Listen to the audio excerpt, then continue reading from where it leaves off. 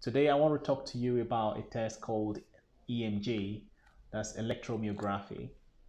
EMG is a short form of the word electromyography. Electromyography is a test which um, studies the electrical activity of the muscles.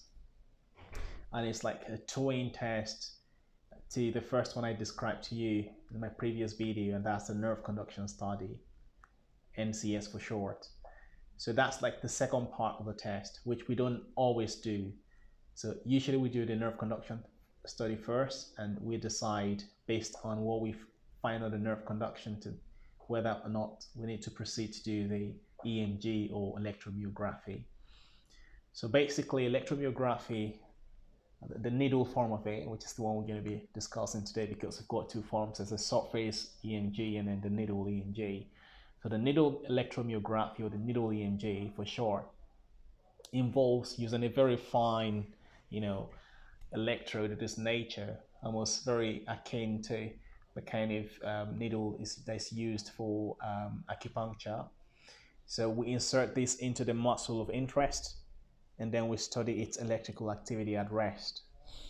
So the right reasons why we do this, first of all, um, you know, if there is a nerve disease, because of the fact that the nerve and the muscle function as a unit, so the nerve controls sends signals to the muscles and leads to muscle movement. So if there's a nerve disease, usually um, it might also affect this relation, the relationship of the nerve to the muscle. So we get a complete information by putting a needle in the muscle and recording how the mu- muscle is affected.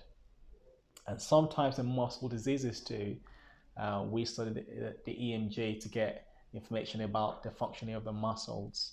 So um, basically, that gives us information, gives us a holistic picture about what's happening between the nerves and the muscles. So, like I said, we don't do EMG all the time.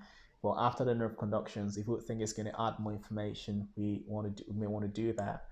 Uh, one common situation when we do needle EMG is after nerve injuries.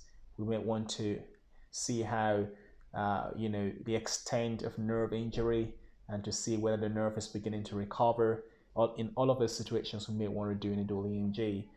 Or when we suspect um, a nerve root disease, what is commonly called radiculopathy, either in the neck or in the back, we want to study the, the muscles to see if muscles belonging to a particular nerve root are affected uh, and that gives us informa- um, information to support a suspicion of nerve root disease. So there's so many other indications. So basically, that's the uh, the framework.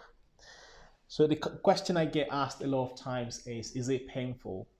Well, I would say when we are inserting the electrode or needle through the skin, um, you might feel some. Uh, it might it might feel a bit tender I would say it's a bit tender or uncomfortable. We don't use the word pain. But once we're in the muscle, we'll move the needle through the muscle very gently. We don't expect uh, too much pain. So we're going to be showing that now. And then the other question I get asked is how long it would take to, you know, complete the test. That depends on the number of muscles we get to study, and that again depends on, you know, the pattern of disease.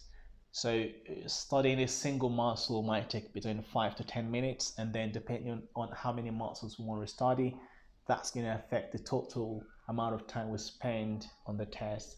If you're just looking for evidence of muscle disease, for example, when we study one, two, three muscles, that might be enough. That might suffice to give us enough evidence. If we're looking for nerve root disease, we might want to delineate muscles belonging to each of the nerve roots. C5, maybe it's 32, three muscles along C5 territory.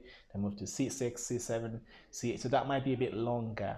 So that depends. But averagely, I say within, I spend between 45 minutes to double that amount of time um, when I am studying, uh, doing needle EMG. It depends actually on what I find and um, how quickly I'm able to conclude on what I'm doing. So that's the amount of time we spend doing the test. So uh, I don't need to bore you for that. I'll just demonstrate what it looks like. So thank you so much, Jelfa, for volunteering to be our subject today. So, so basically we're going to be, this is the setup for needle EMG. We've got the monitor and then we've got the panel. We've got the electrode connected to it. We've got the ground electrode connected to the skin and then we'll be studying this muscle here, which is called a EDC, that's the extensor digitorum communis muscle. So I need to find the muscle first of all. If you can please raise this finger up a bit, up again please, down, up and down, and I can delineate the muscles right beneath my two fingers. So that's where I'm going to be putting my electrode. Okay, so typically when we put a needle in, it might feel a little bit of tenderness, but then once it's in the muscle, we wouldn't feel much um, anymore. So now we're going to just put it through the skin quickly and boop, we're in the muscle already. And on the monitor, yeah. So now we're studying the muscle at rest. So we don't expect to see any signal at all. So usually we wait for about a minute or so. I'll just move the, the needle a little bit and we're not expected to see much on, except to see the needle movement. And now we're going to study the muscle in action. So if you can now place, raise the, um,